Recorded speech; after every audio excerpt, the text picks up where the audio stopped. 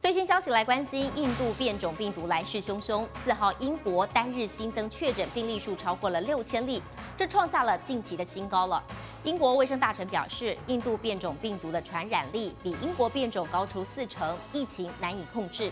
原定在六月二十一号要解封的计划，外传恐怕要再延长两周。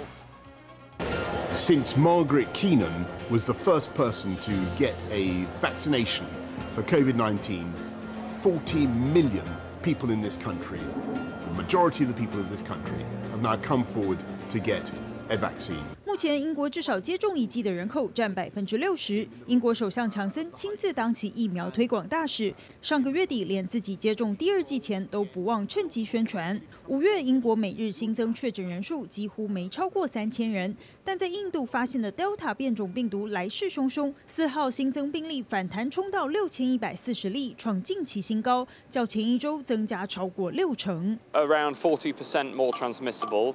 Uh, that means that it is uh, more difficult, obviously, to, uh, to manage this virus uh, with, the, uh, with the new Delta variant. Delta 变种病毒的传染力比 Alpha 变种高出四成，让疫情更难控制。原定本月二十一号松绑防疫封锁限制的决定，英国卫生大臣坦言，恐怕不能如期解封，传出可能再延两周。So the good news is that the vaccine still works just as effectively.